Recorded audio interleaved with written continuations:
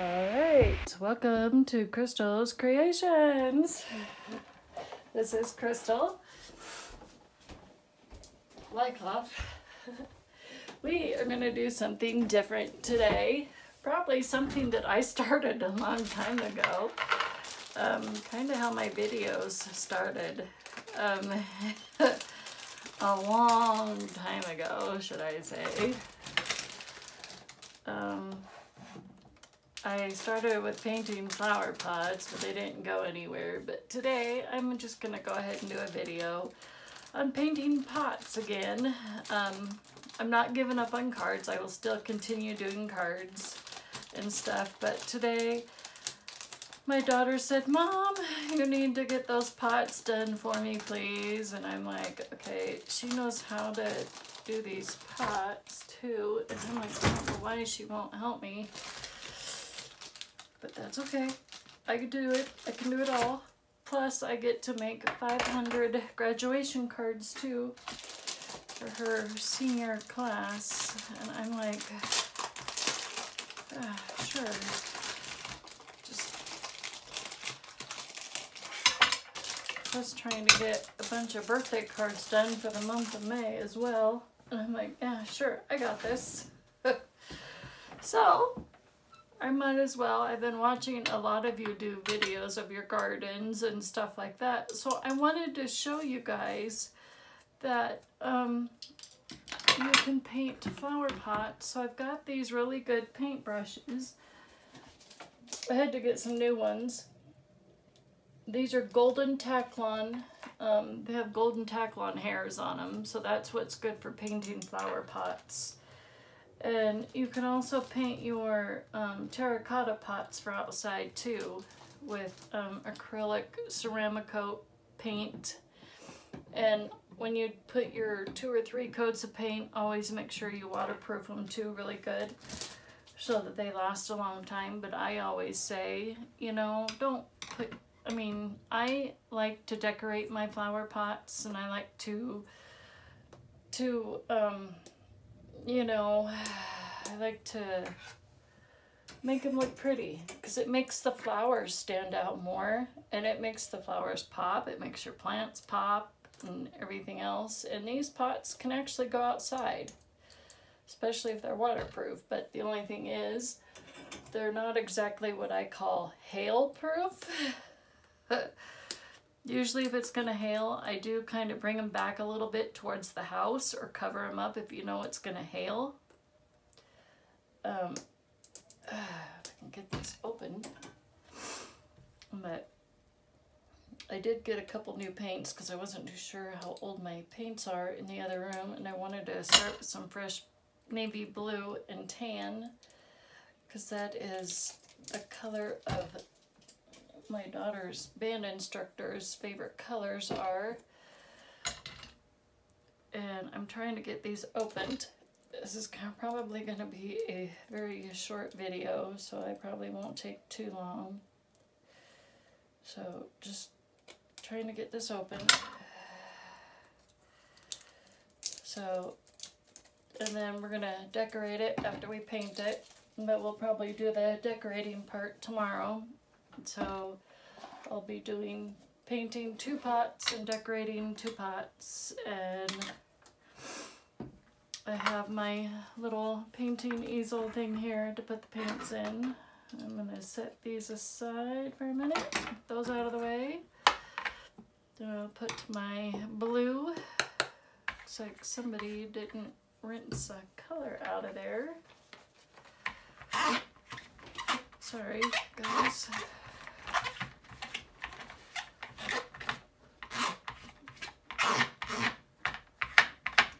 Okay, better. Okay, so I'm trying to think, do I put navy blue on the border or do I want to put navy blue on the big part? So we're going to put clarinets around the border.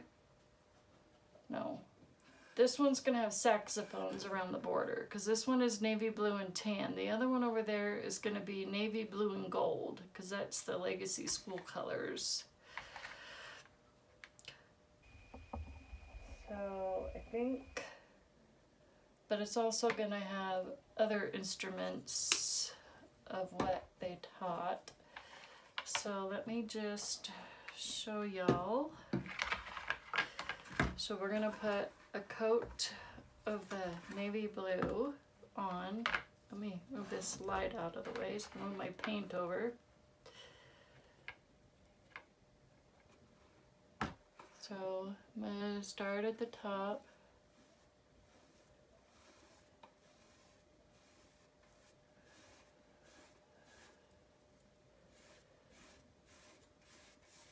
I generally just kind of go in one direction.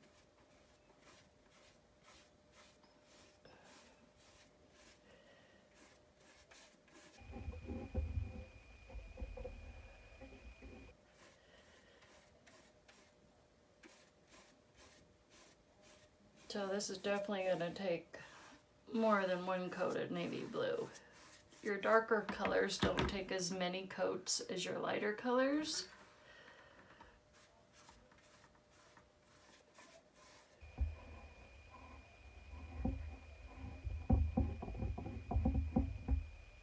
The paint I'm using is um, from Joann's. I got it at Joann Fabrics the other day.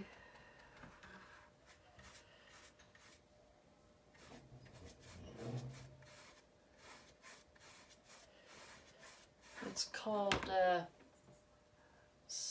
Delta Delta Creative Ceramicoat and I'm using navy blue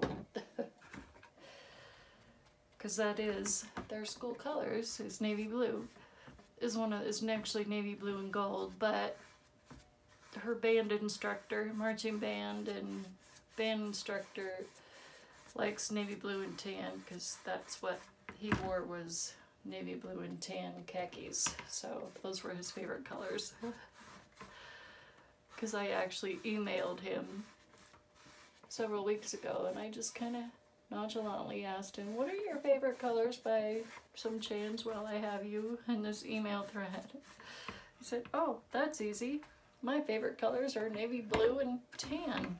It's like, oh, okay.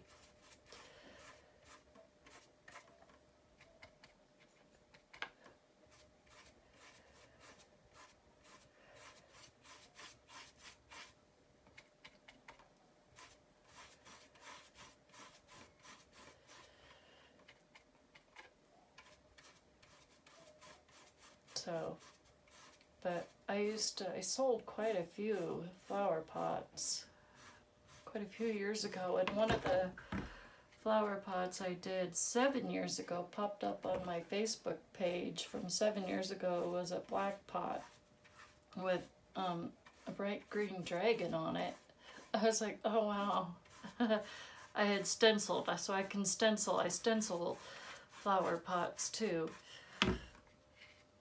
and then I also do um, where I uh, do paper and pictures. I do wedding pictures. I've done wedding flower pots where I put um, wedding photos on uh, paper, printer paper, and I do different shapes of them on uh,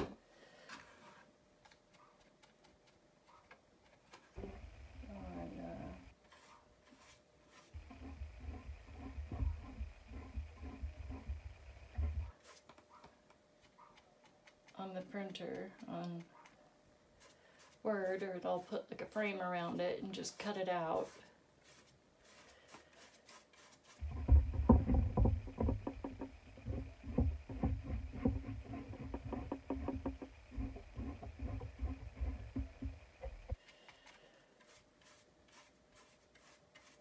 Guess I should have put my apron on in case it's paint splattered. I wasn't thinking of that. Oops, of course.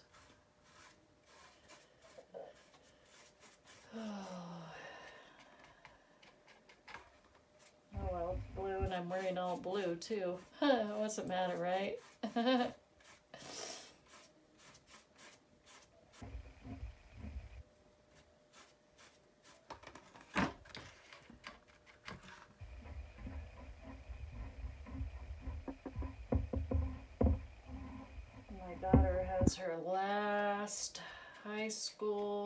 concert today.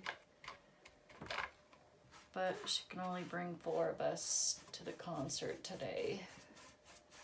But it's only going to be a 20 minute concert.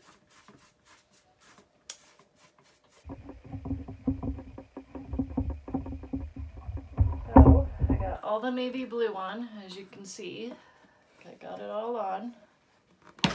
So now I'm going to get the rest of my navy blue paint that I have in my little painter thing in my little two ounce thing of the what's left of it because I don't like to waste.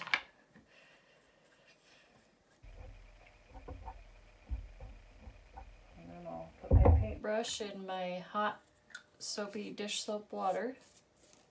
And I'll take my chamois over here that I usually use for my stamps. Oh, sorry. Got probably. But I gotta get that paint out because if I don't, it dries and I'll never be able to get it out. Okay, got that out.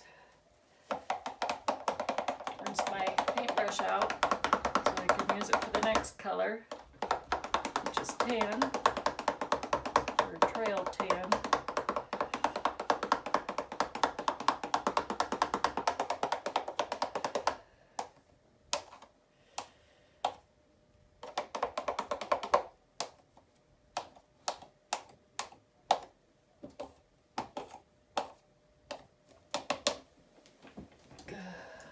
I always use hot water and dish soap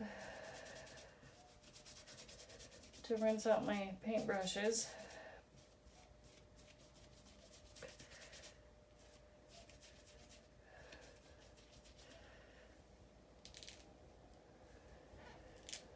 Then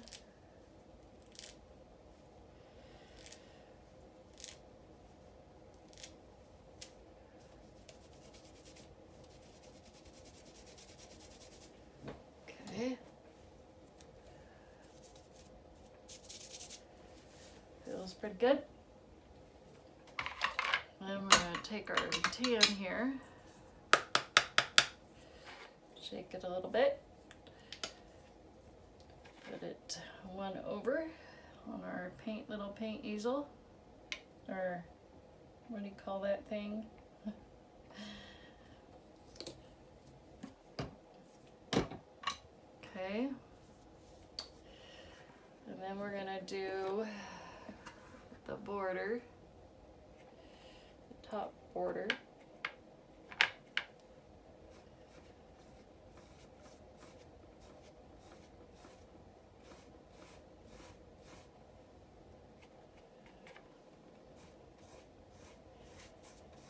Without trying to get it onto the navy blue. and of course I did. But it's okay. Always paint over the navy blue on the second coat. It'll cover the tan up.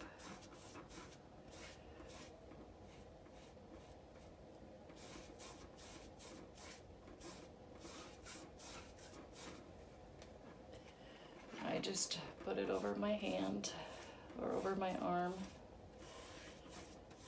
There we go. Go very slowly. I'm not perfect.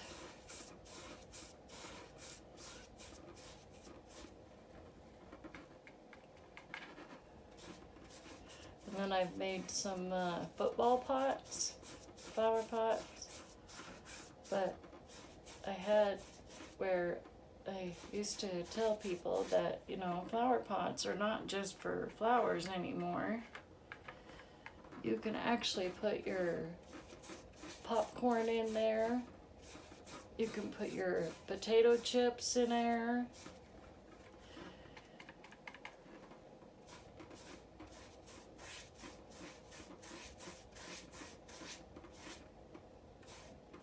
You can put, I mean, yeah, of course, flowers and stuff like that, but you can put whatever.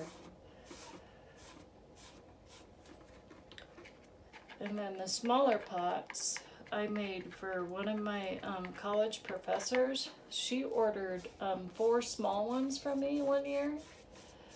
And uh, she used them for pen holders on their on the desks, which I thought was pretty cool. Used them for pen and pencil holders and used them for a desk organizer too.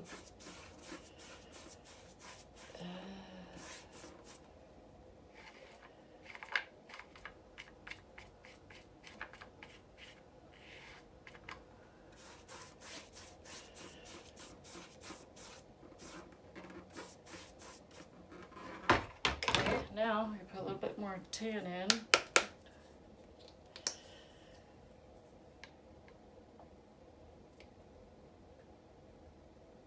Course, I moved my inks up on my desk.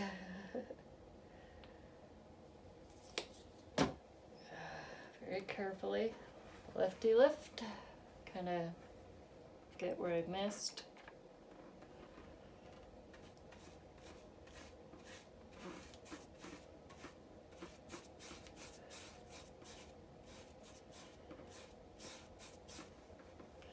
That spot. And then we'll do the bottom of the flower pot too here in a second.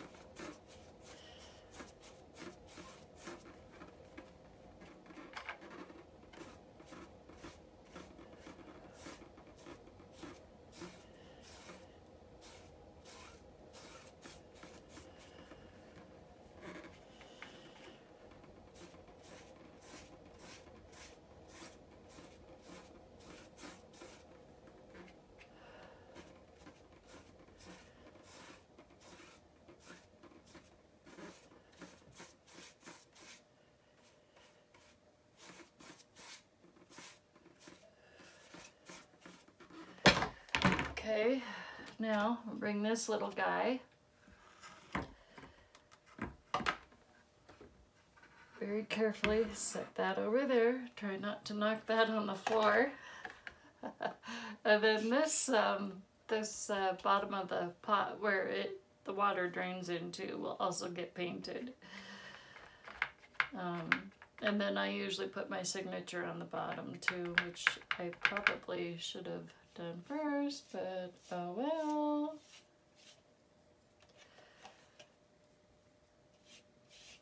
And I just hang on to the tags, or the little pegs that are inside the pot here.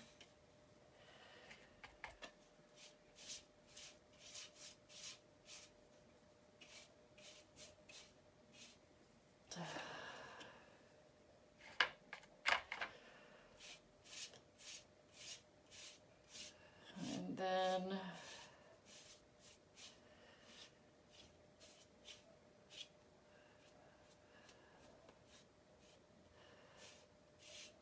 Said that is it for painting. Well, I still have to put a second coat and stuff like that on, but and everything else and I have to look for instruments. I think I'm gonna probably find them to color instead of finding instruments that are already colored. I think I'm gonna try and make them as black or silver and gold as possible with my alcohol markers and stuff like that that I have. So there you have it. So that is kind of how you paint a flower pot. And then later on, you will see me come back and do the decorations and stuff like that. So um, I will put a pause on this video and we'll go from there.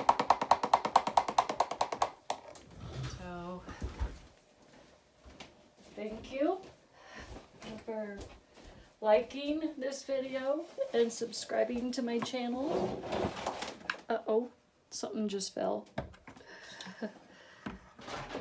something just fell. Okay, I'm good. I'm good. Just, just my skin and cut plug. So that looks pretty good. And we'll just have to put a second coat on. Ah, that looks okay. So anyways, thank you all for watching and I will talk to y'all later. Bye for now.